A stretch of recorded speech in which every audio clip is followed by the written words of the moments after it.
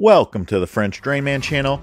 I'm Robert Sherwood, your host, and I've been getting a lot of requests for easy drain versus high octane.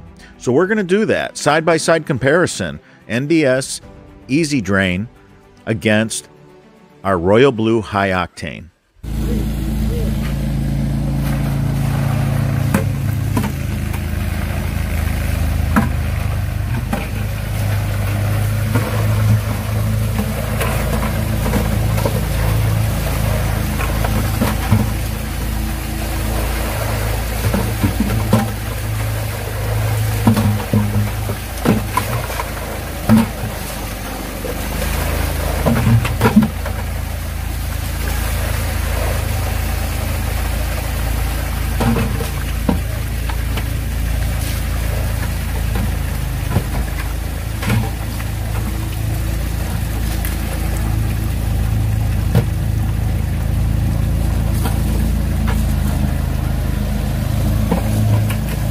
Well, the high octane, it just blew the peanut pipe away, man. I mean, it, it drains, but man, it drains a lot slower. You can see the inlets are these little tiny cuts. Jeez, look how much it, that's a long time to be behind high octane.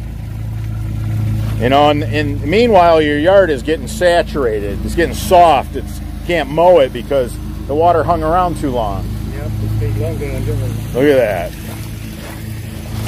So we put rocks on top of the peanut pipe just so that it wouldn't float to the top. You guys, you know how this stuff is. Man. Yeah, that was cranking.